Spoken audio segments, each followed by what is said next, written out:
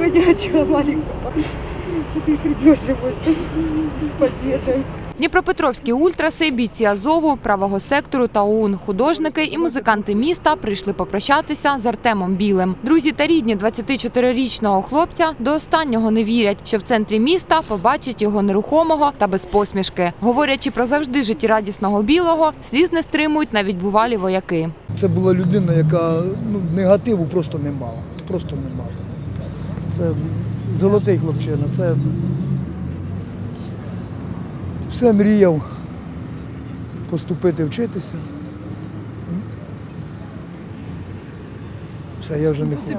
Плачуть і нескорені дніпропетровські ультраси. Багато своїх вже поховали, однак звикнути до цього не можуть і не хочуть. Слухаючи тих, хто 13 жовтня був поруч із Артемом, закипають від люті. Адже хлопця, який покинувши полк Азов після його відведення з передової, пішов в ОУН, що в складі 93-ї бригади, вбили під час перемир'я просто в бліндажі. Когда Артема не было, все ребята были расслаблены, ну, а Артем пользовался, так сказать, пацанов авторитетом. Артем приехал, и сразу все приступили, ну, так сказать, облагораживать позиции. Блиндаж сразу утеплили, поставили буржуйку, начали укреплять самую крайнюю точку нашу. Ну и незаконные бандформирования обстреляли нас с с, пос- с- то ли с подствольных гранатометов, то ли с э, автоматического гранатомета.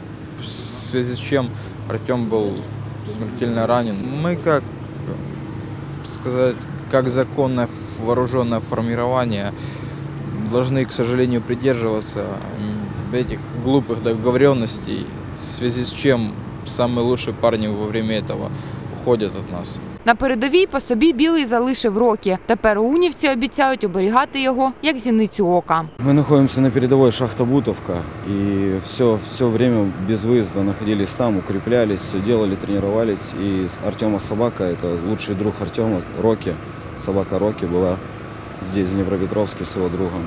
И он накануне смерти забрал собаку туда, на передовую, к нам. Сейчас она находится там, ну и будет нам служить и помогать вместе с нами. Будем память, память Артема будет. Сьогодні з Артемом попрощалися рідні та близькі, а завтра його відвезуть до Харкова, де кремують та поховають поруч із мамою. Юлія Мельниченко, Олександр Височин. Новини 9 каналу.